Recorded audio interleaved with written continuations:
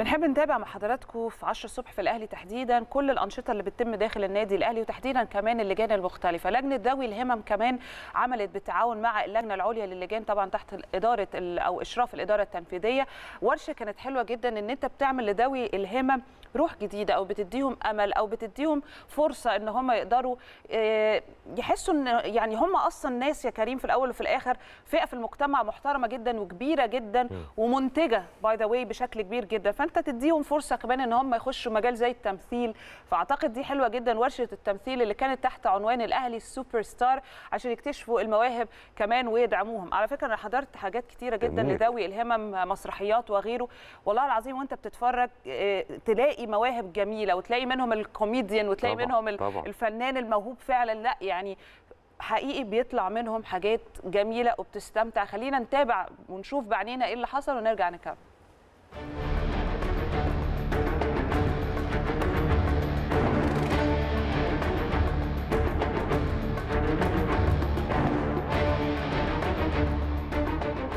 السنة دي إن شاء الله إحنا بعد تجربة المسرحية الأولى بتاعت مطلوب مخرج والنجاح اللي حققته ففكرنا هنعمل إيه بقى جديد آه، فالنهاردة أول يوم إحنا بنلتقي فيه فتحنا الباب إن ناس جديدة كمان تدخل على العدد إحنا لو تفتكري المسرحية اللي فاتت كان معانا 35 ولد وبنت.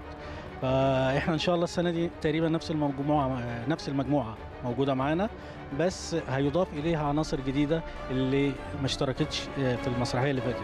هنشتغل على نفس الموضوع أو في نفس السكة إن إحنا عايزين نعمل كوميديا هادفة آه، تمثيل مسرحي. يعني إحنا بنعمل مسرحية متكاملة هيكون عندنا إن شاء الله فيها استعراضات وفيها أغاني بالإضافة للمشاهد التمثيلية المختلفة آه، هنعمل أثناء ده ورشة إعداد ممثل للولاد. يعني إزاي نأهل الولاد ونرفع من قدراتهم التمثيلية إنهم يتعاملوا مع بعض وإزاي يتعاملوا مع خشبة المسرح وإزاي يتعاملوا مع الجمهور إزاي يتقمصوا شخصيات مختلفة وإزاي يعبروا عن أدوار مختلفة.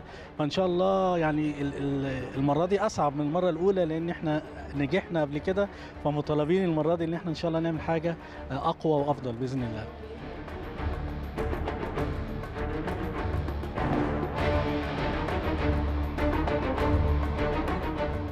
إحنا قررنا ان إحنا آه، نقول للولاد اللي عايزين عندهم اي موهبة آه، تعالوا. آه، إحنا في اللجنة بنعتمد على ان إحنا نكتشف مواهب الولاد ونساعدهم ان هم يعبروا عن مشاعرهم. يعني القصة بس مش موهبة القصة ان ان اي حاجة عندنا ليها هدف.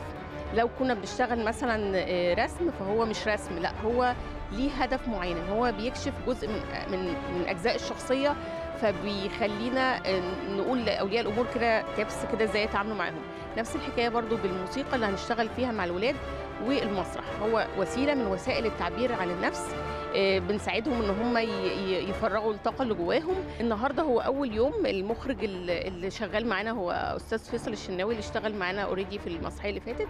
النهارده قلنا إن إحنا نبص على الولاد نشوف هم حابين يعملوا إيه.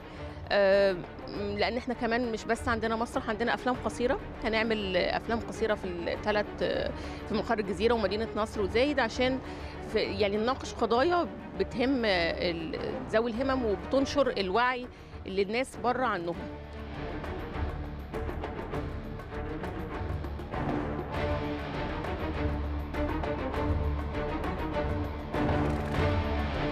إحنا عملنا الورشة دي زي كاستنج كده ليهم. عشان نعرف آه، المواهب اللي موجودة إيه. وفي إقبال طبعا كبير الحمد لله من الثلاث فروع. آه، طبعا إحنا ال- الورشة دي بتبقى تمثيل وعزف وغنى واستعراض حاجات كتير. آه، بنطلع المواهب اللي جواهم. بي- بيستفادوا من الكاستنج عشان يعرفوا كل واحد الموهبة اللي هو متخصص فيها إيه. بنساعدهم على ده. عشان طبعا هنعمل مسرحية إن شاء الله زي اللي فاتت.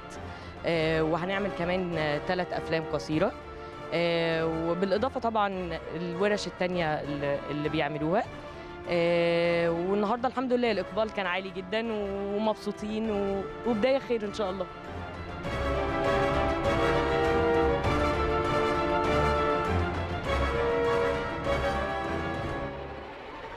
طبعا كالعادة حاجة جميلة ومحترمة والحقيقة الشغل اللي بتعمله اللجان المختلفة في النادي الأهلي كل لجنة منهم على حده بتعمل شغل أكتر من ممتاز.